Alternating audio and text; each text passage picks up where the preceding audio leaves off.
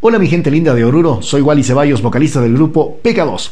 Quiero agradecer al periódico La Patria por permitirme llegar a todos ustedes con este saludo y este homenaje que quiero brindar humildemente a todos estos, a, todos estos héroes valerosos que están en este momento en las calles. Nuestros policías, nuestras fuerzas armadas, doctores, enfermeras y también a la gente de limpieza que está ahí en las calles enfrentándose a esta terrible enfermedad para cuidar a nuestras familias, para proteger a todos los bolivianos. Gracias por su noble labor y en este mensaje pedimos a todos los demás que ayudemos a que el coronavirus no se propague en nuestro país, quedándonos en casa.